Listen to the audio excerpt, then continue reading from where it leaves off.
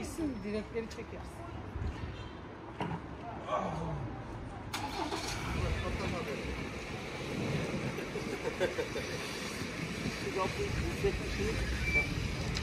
Vurdum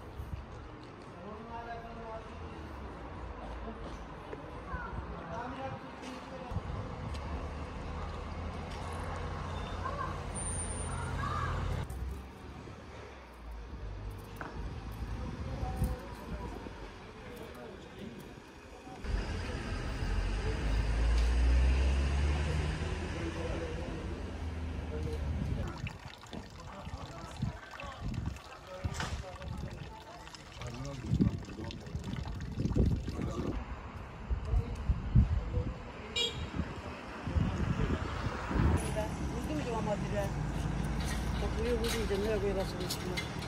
Çoluk çocuk oluyorsa da arabayı bırakıyor. Ha bu kadardım ben ha. Ben de şaşırdım. Böyle de direkt gidiyor.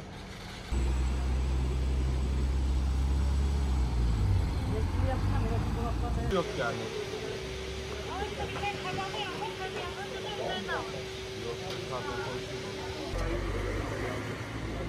Merkeze gideceksin. Binamda, binama, binamda elektrik internet istiyorum.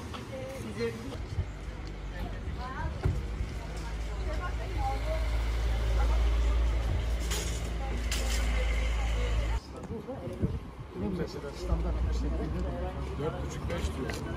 Kaç?